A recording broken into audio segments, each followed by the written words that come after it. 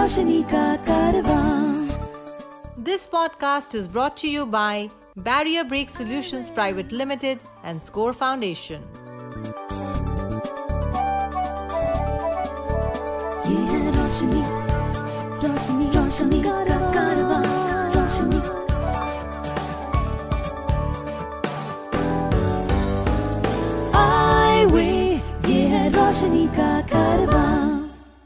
Hi, my name is uh, George Abraham, and uh, welcome to this episode of uh, Eyeway Conversations. I have with me my good friend uh, Shilpi Kapoor from Barrier Break. Hi, Shilpi. Hi, George. And uh, our guest today is, um, uh, you know, it's not a simple introduction. She's a businesswoman, she is an advocate, she is a speaker, a writer, and a mother, among other things. And uh, welcome, Debra, Debra Ruh. Uh, welcome, you. Debra. Thank you, George. Thanks for having me. I always love speaking to Shilpi, so this is a treat. Lovely. Uh, so you've done extensive. You've you've initiated uh, uh, various companies and organizations working with the uh, disabled. You've also been part of various efforts and enterprises dealing with people with disability, disability inclusion, and so on. Uh, the first question that we would like to kind of ask you is: How did you get interested in? What triggered this all? And that's a great question, George. And, and I think that's a question we ask ourselves a lot in this community. And it's always interesting to hear the story of how we got here, but it, it um, it's also encouraging to hear more people that don't have a family history or a personal history themselves being involved in the field. But I'm not one of those. So uh, when I was 28 years old, um, I had my first child, and um, and I had a beautiful, perfect baby girl. Um, but the doctors didn't seem to think she was perfect so they told us that she had down syndrome and and it was really sort of sad um, the way people responded to me because i was a young woman that had had her first child and people responses were oh really? Oh i'm so sorry. And i really did not think that my daughter's life was a tragedy. I actually thought my daughter was the prettiest best most amazing little girl that had ever been born like most parents do. But I, I just remember that being a real eye opener of just the way people were treating and the doctors even made comments about you know some people institutionalized and i thought get away from my baby you're not taking my baby anywhere this is my girl and my girl's now 34 years old and um, she has been a great teacher to me but she was the she was certainly my um, my inspiration for wanting to give back. I was in the um, banking industry and I felt like I was contributing, but I didn't feel like I was doing enough. And when my daughter reached middle school and I started understanding the plight that people have to walk, people with disabilities to get in the workforce, I, I was just shocked. And I thought well, that, that we can do better. So that's how it all started for me. We can do better than this. And Sarah is so beautiful and she is so amazing. Thank you, thank you. She has been such a great teacher. And it's been it's been hard sometimes, especially as an adult, because she was so much easier to raise as a little girl. And we have some nice supports in place in the United States. We're not perfect, but when she when she reached transition age, um, which happens to so many people with disabilities, uh, it's like there's this cliff you fall off, and it's like, oh well, you know, you know hope you don't mind being lonely and isolated and unincluded for the rest of your life so You know, in 2013, you started uh, Ruh Global Communications. And um, uh, what was the vision behind it? What were your learnings? What were your experiences? oh thank you george it I, I will step back and say in 2011 my little technology company tech access um, we got impacted because of the financial crisis the bank that we were with in virginia um, failed due to the big banks well i'm being gluttonous and greedy and so the small business bank I was with failed and they called my note. And overnight, I owed $200,000 and interest and penalties to the bank um, through no fault of my own, but just because this bank was no longer a bank. The regulators had stepped in. And so it put obviously my company in a major crisis. I had all these talented employees with disabilities. And that was at a time eh, from a US lens when 7 million Americans had been laid off due to this financial ridiculousness and um, greed and gluttony by the, anyway, but I won't go there. But so um, another company in the industry, now called Level Access, absorbed my company. Um, they did what is called a um, a you know where it, it, all of a sudden I'm forgetting what the term is, but it, the bottom line is they get all the upside and I get to keep all the negatives. So uh, debt, uh, debt, whatever. It's just the life of an entrepreneur. But I worked with that organization for about 18 months because my employees were there. And I was so thankful that I got to keep my employees safe. But one thing that had that had been bothering me when I was with Tech Access was I had a customer say to me, HP, and and, and this gentleman, Michael Takemura. Remember him, Shilpi? Oh my God, he's passed away. Yeah, he's oh, transitioned.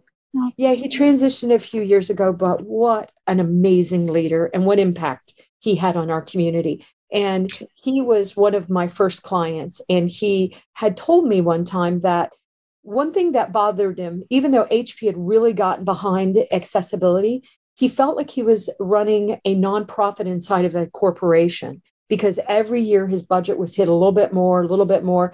And it was seen as, oh, you're doing good for the people with disabilities. It was still relatively early on in this accessibility journey. But that just stuck with me. And I thought, I think that's happening to all of these corporations. They are having to run their budgets, if they have a budget at all, with very little support and very little support from the top. And we've made some progress since then. But I thought I didn't want to just be a part of a small accessibility company. That didn't speak to my heart. So I created Ruh Global Communications, which is now Ruh Global Impact. And we were we decided to be the storytellers you know we wanted to be the global storytellers and so we were focused on who is doing what in the industry that's making a difference and what cor- and almost trying to catch corporations at doing things right and so that's how Ruh Global Impact was born. And today, 90% of the team are people with lived experiences with disabilities. I have an invisible disability. My husband, sadly, has aged into a very, very serious disability due to a car accident as a child. He has late stage dementia. Bad, horrible word, dementia. I hate dementia. I hate the word, but it's our life. So, um, but that's how Ruh Global Impact uh, is, you know, was birthed and um, and now contributing, contributing globally because we've got to celebrate each other.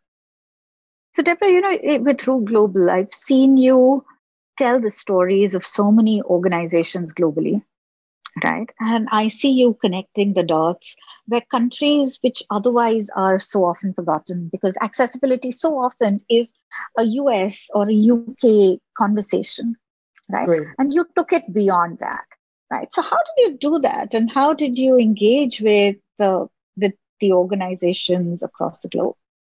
And that's a great question, Shilpi. And, and what was what was interesting to me is I I I was first started. I was first. I, I've been blessed to travel all over the world. I have not made it to India, even though I'm going to make it to India. I, I we have to get to here. To India. I want to come to India, but haven't. But I've gone to a lot of countries, and what I noticed, Shilpi, was that at the beginning, people were inviting me to speak because I was a woman um, in the United States.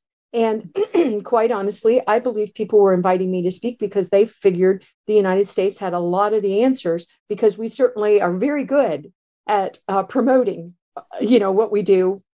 And so, but the, I did not really agree with that. What I felt was I'm very proud that, and this is going to be a weird thing to say, but I'm very proud that the United States is suing corporations and other organizations when they're not accessible.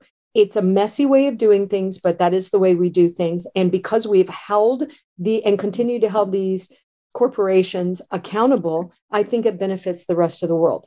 But at the same time i didn't necessarily see the innovations i wanted to see as an individual with a disability a parent a wife a mother um, with a disability and um, i actually saw innovations happening in other countries um, that I thought would be very beneficial to the states and to the UK and so, and I and I continue to see that there is a lot of innovation happening in India.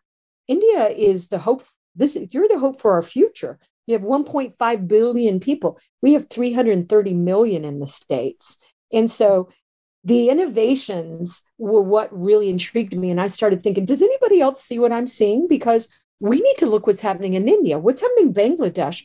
What are they doing in Kenya? What do you mean they're doing that in Kenya? That's amazing. And so I sort of appointed myself as, as one of the storytellers. Many, many others, including you, Shilpi, have joined these global conversations. You also were involved with um, a lot of assessment work that happened on the implementation of the United Nations Convention on Rights for Persons with Disability. 104 countries, I think I read somewhere. Uh, tell us a little bit about that. Uh, what was your observations? Uh, how is uh, how has the UNCRPD traveled across the world? Well, and I will say that I have only been a little involved at the beginning. I, I would say I would give more credit to Axel Leblois from G3ICT and his team. And I am blessed to have stood with them. And Shilpi's also, you know, a partner with them. But I I celebrate the UNCRPD because when that convention came out, more countries signed it right at the table than we've ever seen before. And we've seen such global innovations and leadership, um, like in India. India signed and ratified it very quickly. Unfortunately, my beautiful little country, um, we did sign it, and that's great, but we have not ratified it. We're one of only two countries in the entire world that have not ratified the Convention of the Rights of Persons with Disabilities. And I personally think that is a disappointment and a lack of leadership in the states because and what, what we heard was well we've got our americans with disabilities act which by the way is beautiful piece of legislation always li- it's alive it's always growing and changing but the our laws do not protect our citizens with disabilities when they leave our borders. And so i think it's short-sighted that we do not join the rest of the world in solving these problems. We know the un says there's 1.3 billion or the world bank i mean the world health organization says 1.3 billion people with disabilities. And i i'm a little sad that my country has not shown leadership. Now right now we're a little distracted with the pandemic appropriately but i am hoping that President Biden that I voted for. Um, I did not vote for anyway. I voted for President Biden. I'll just say that. I wanted sanity in the office, and um, and so I did not. Uh, I, I hope that he will um, go ahead and um, ratify the convention. But right now we are appropriately a little distracted, as is everybody else in the world, and making sure that people are staying safe and also what a blessing helping other countries by you know sharing the vaccine. So that's the us that i'm proud of. Um, but yeah great question. If you know of anyone with vision impairment who needs guidance on living life with blindness please share the Eyeway National Toll Free Helpline number 1800 5320469. The number is 1800 5320469. You know, coming to you know the work that you've been doing with G3ICT, you know, all of us have been so a part of that, right? Um, uh, I'm on the board of G3ICT. You have been one of the front runners in in promoting this. And one of the things that we come together very well as, um, you know, is a, a good global community that supports each other. Yep. Right. And an extension of that is something that you do uh, called AXS Chat, right? Yes. And um, would love to hear a little about that and how you're bringing a global community together. Yes, and thank you. It, it, and Shilpi has been featured Shilpi is such a leader in our community. She's such a global leader. And I'll tell you, she was one of the first, the first personalities, faces that joined these conversations. The conversations were in the US and the UK. Whoa, who's this woman from India? Wow, that's a long way. So I'm telling you, she broke down the barrier. She insisted in entry, and she's been such an amazing leader. And it is true, Shilpi. You you have to admit that is true. So it's just amazing it's amazing to see what she's accomplished. But G3ICT, they, you know, they've shown such leadership with their foundation and their work all over the world. But I just, think, in the first place, we are all stronger together, as we all know. We have to support each other. There is too much work. We don't have enough people to do the work that is out there. We need to come together. We need to support each other. We need to, you know, continue to celebrate and empower each other as well. But I think um, one thing that I I had the blessing early on to work with Axel and see I, and I will just say, I won't go into detail, but I said to Axel one time when I first started working with them, and he had invited me to go and speak in Qatar. And I was talking to him about one of my competitors who's still in the field. And I said, Well, this, they're not going to want to be part of G3ICT now because you're working with me and blah, blah, blah. And he's like, Debra, you have to lead. You cannot worry what a competitor's doing. If that competitor doesn't like you, go and talk to them, make friends with them, collaborate. And I'm like, but they're the one that doesn't want to talk to me. He said, I don't care. Be a leader. And I really took that to heart. And I thought he's right. And so I've reached out to everybody and with AXS Chat, um, and it's AXS Chat. Um, I was doing a tweet chat w- for one of my customers. I didn't really know what I was doing, but you know, I got to wing it. And um, Antonio Santos and Neil Milliken, who work for Atos, one in Europe and one in the UK now, um, they said, why don't we get together and do a global chat about accessibility? Because they agreed with what we were seeing that there was innovations happening outside the US and the UK. What can we do to have a global conversation? And so fast forward to now, we've had 1.1 billion impressions it's just ridiculous. Yeah, it's ridiculous. We've been verified by Twitter, which is very hard to do. Um, they don't want to verify anybody these days, but they verified us. They've gotten behind us. And we have been doing it for seven years, every single Tuesday at 8 p.m. UK time, which is very late in India. But Shilpi's been featured on that. And it's it's just about celebrating. It's like what we did with GAAD, Global Accessibility Awareness Day. Let's celebrate. Let's celebrate we got a lot to do, but we're actually making the, you know, and so AXS Chat to me is about celebrating the leaders are out there making um, making inroads because there's just so many different moving parts when it comes to truly including people with disabilities. And, and I'll just make a comment. I was interviewing um, this woman that it was born with muscular dystrophy, and she's a psychologist and very, very, very brilliant woman. And she said, I wish the only thing I had to deal with was muscular dystrophy. But what is the biggest issue in my life is how society treats me. Society disables me. Absolutely. MD is a pain and, it, you know, unfortunate, and I, I struggle with it. But society and the way it treats me, that's my biggest hardship in my life. To support our work with the blind and visually impaired, you can visit the donate page on our website www.scorefoundation.org.in. Please note www.scorefoundation.org.in. Uh, moving on, last week uh, I read about this Chinese gentleman, blind gentleman called Zhang Hong, who climbed Mount Everest. And uh, he's apparently the third blind person to actually scale this tallest peak in the world. And uh, this actually speaks about human potential. And you run something called the Human Potential at Work. Tell us something about that. Well, I um, going back to, to what Shilpi was saying, I wanted to celebrate, really celebrate the leaders, and so I created this show called Human Potential at Work, and it's a Zoom show, multi. You know, we're all we know how that how that works these days, and it's six years old, but we've gotten to celebrate once again the leaders, and we're telling powerful stories. Shilpi's been on again, but I mean, she just has a very powerful story of social impact and social good. That's who I want to feature. I want to feature the souls that are making a difference for the world.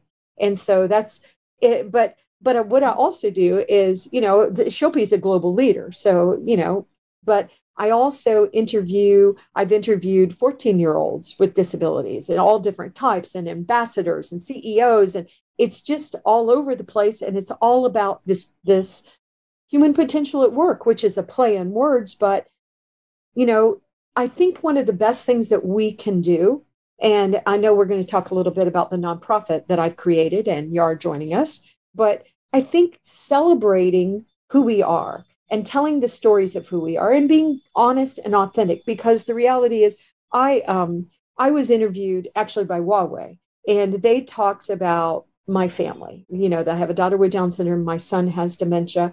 And we were talking about how technology supports their desire to remain independent and me as a caregiver and things like that. And somebody actually from India wrote a reply and said, I pray to God this woman has a healthy, long lived life so that she is there to take care of her family. And it was a very sweet, sweet comment. And I thought, you know, sometimes maybe people look at my life and see a tragedy, but actually, uh, my life is normal. I have a normal life. We all have, especially, I know we'll all agree right now during this pandemic. Times are intense for all of us. You never know what people are walking, but we still need to be authentic and we need to tell our stories so that others know they're not alone. So I think that's what human potential at work can do. It can really celebrate um, the diversity, the contrasts. George was just celebrating the leaders, even the young leaders that are just finding their their voices and celebrating the, our global leadership, our global visions, our global diversity. Fantastic. Uh, I think uh, we will now move on to your favorite topic, it appears. These Billion days. strong. Yeah. strong. I'm so excited about it. So go for it. Tell us, tell us something about it. Uh, yeah. Be- before you go there, George, I got this email from Debra yeah. saying, I'm starting this thing. It is very quiet right now. Are you willing to come on as an advisor? I'm like, obviously, this is not even a question one is going to say no to, you know. So, Debra, over to you. Yes, and, and I know. And of course, I'm going to go right to Shilpi when I need uh, advisors. But it started because of successes we're having in our industry. So um, it's Shilpi, which by the way is a big deal recently or, or is about to speak for the Disability In, which is the United States business to business. Um, uh, uh, I guess they're a nonprofit that helps corporations understand why they should include people with disabilities. And so and is very important that once again we have voices from around the world talking about these topics. And so I was so they have made a lot of progress. Uh, Business Disability Forum has made a lot of progress. Um, a lot of work is being done in India. There's a lot to celebrate, but also we have the valuable 500 with Dr. Caroline Casey, with 500 multinational corporations that have committed at a CEO level to include people with disabilities. And I actually had a major, I won't say who, a major corporation come to me yesterday and say, okay, we're ready to join the valuable 500. Well, they already have 500 so I'm not sure what's going to happen if there'll be a phase two. I don't know, but right now they do have the 500. So, uh, but I started worrying about the supply part of the demand. So the corporations are starting to up their demand, but where's the supply, especially if people um, most people with disabilities have invisible or hidden disabilities. They just do, the majority. Um, and then there's majority, and then there's um, people with um, visible disabilities like my daughter with Down syndrome. You can even now, if you can see, you will be able to tell my husband has a disability just because of the way he interacts with the world. But there's a lot of people that have disabilities that you don't know that they have a disability.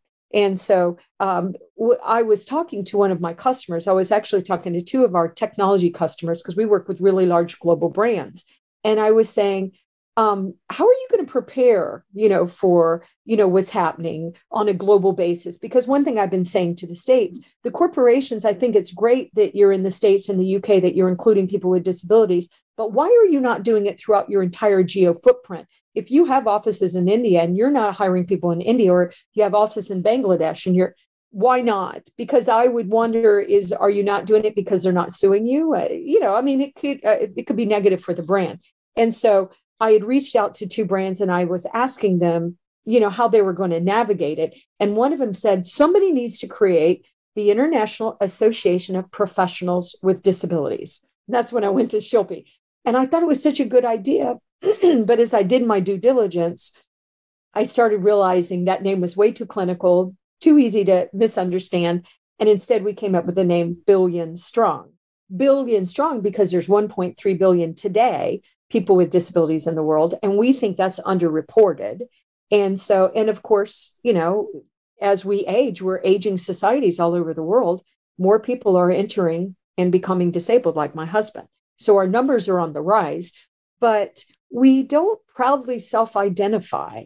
And so I thought, what we need to identify and be and be proud of who we are. But what I didn't want to do, because we're proud about doing this, George, in this industry sometimes, we like to step all over each other and it doesn't make sense. There's too much work. We don't, I don't need to try to be Shilpi. I would not, I wouldn't be good at being Shilpi. She's better at it than me. So instead, why don't I partner with Shilpi? Like George, you and Shilpi partner now, and we're going to partner. So I just believe collaborating and partnering, you you just get so much farther. So we created Billion Strong, and it's billion-strong.org.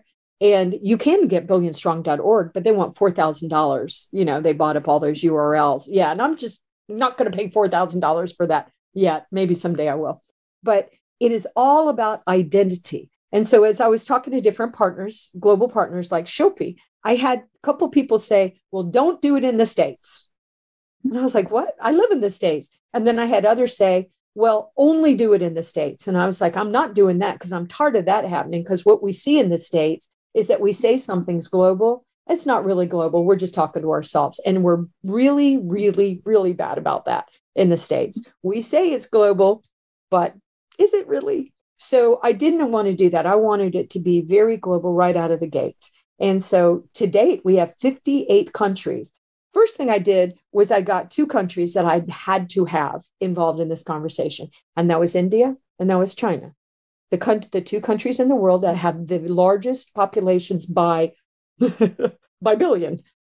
So it it just was very very important to me that I get the right advisors and partners. And so it's very exciting what's happening because what we're going to do is we're going to talk about identity and our lived experiences and and be really authentic about it you know and and and be transparent and talk about what works and what doesn't work. And like what the woman i was mentioning the psychologist society stop stop disabling us. We're not broken. We're humans. And there's such beauty in the diversity of human beings. So i'm very very very stoked. I have hundreds of advisors. Um, we're creating so many cool things. We're going to have awards. We're going to have, but we're going to celebrate what all the countries are doing. So we want to know what is happening in India and how do we highlight what's happening. Um, I know a lot that's happening in India, but there are a lot of people in India that don't know what's happening in India, and same all over the, with all countries, right? I'm just using India as an example, but I'm really excited about it because if we could truly come together if we could really come together in a meaningful way and say, I am proud to be a person with a disability, then mm-hmm. Shilpi can do her job better. George, you can do your job better. The corporations will find us, know where to find us, but it also has some really powerful advocacy. And so, just to give you an example, here in the States, as we were rolling out the vaccine, we were not prioritizing many of our states. Each of our states got to decide how they were going to roll this out. But our states, many, most of our states were not prioritizing people with disabilities. So, for example, California, our largest state, um, they weren't going to prioritize people with disabilities. They were pr- prioritizing people like me over a certain age, but they were not prioritizing people with disabilities. So we took to social media because I'm a market influencer and I have a lot of followers. So we took to social media to almost sort of shame the governor into including us. It didn't work sadly. But another example, one of our other states, South Carolina, um, Dr. Lamondre Pugh, who is actually the CEO of Billion Strong, he is a person with lived experience with disabilities. He has uh, muscular dystrophy also.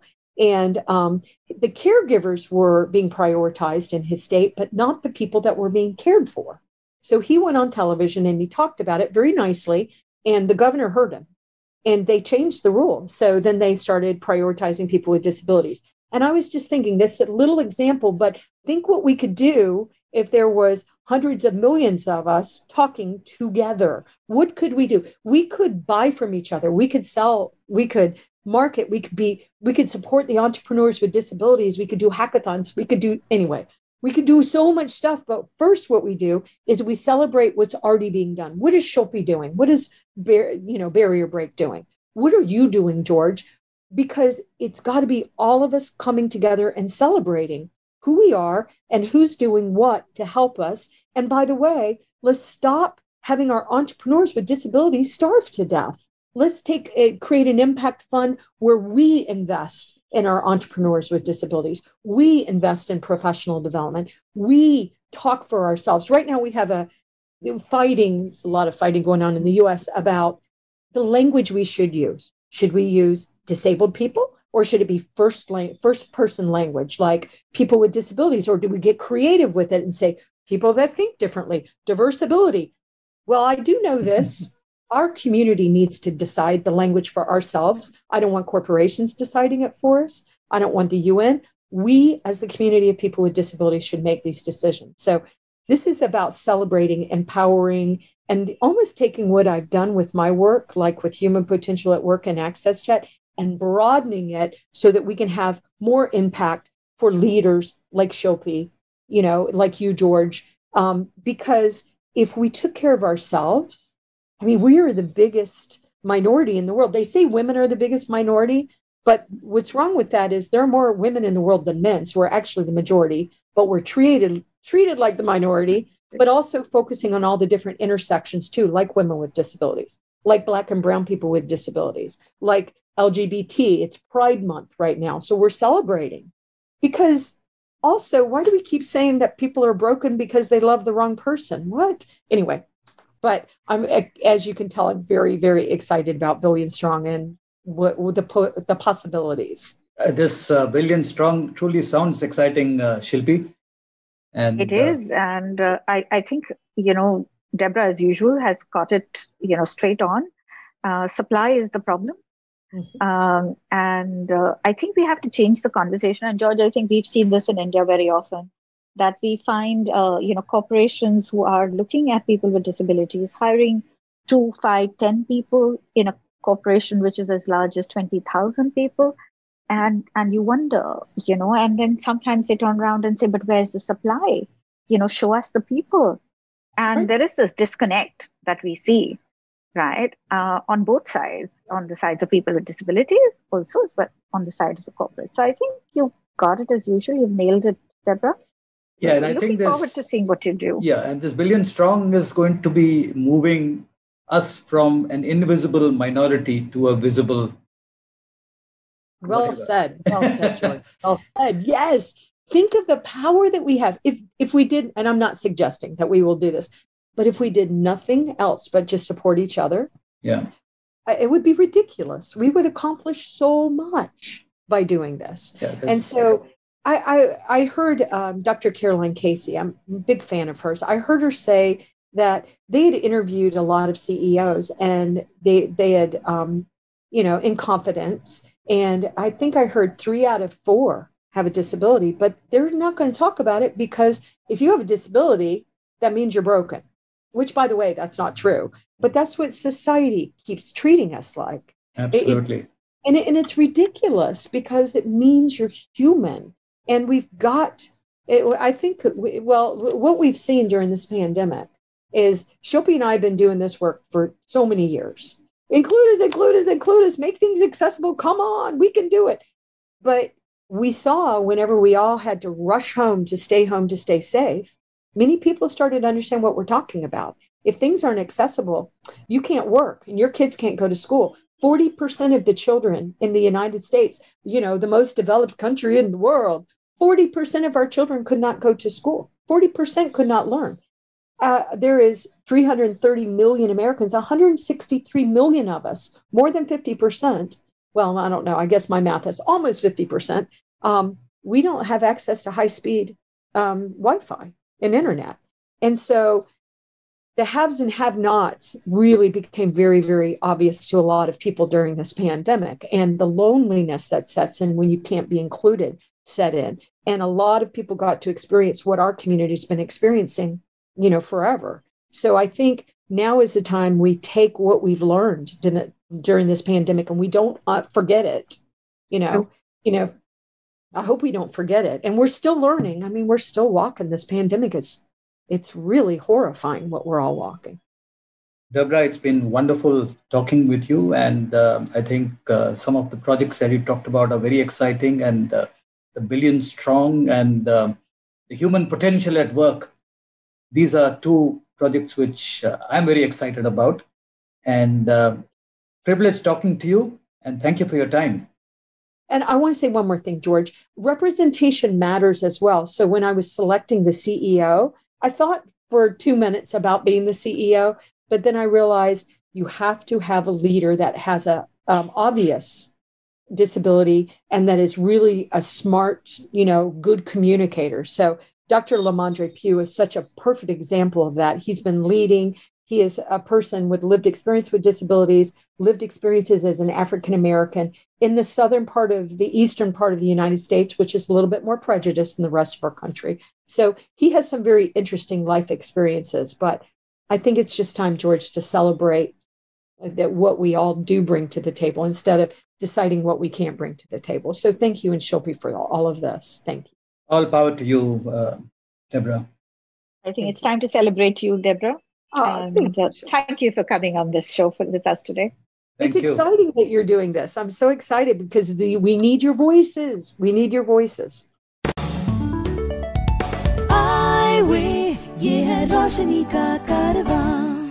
This podcast was brought to you by Barrier Break Solutions Private Limited and Score Foundation.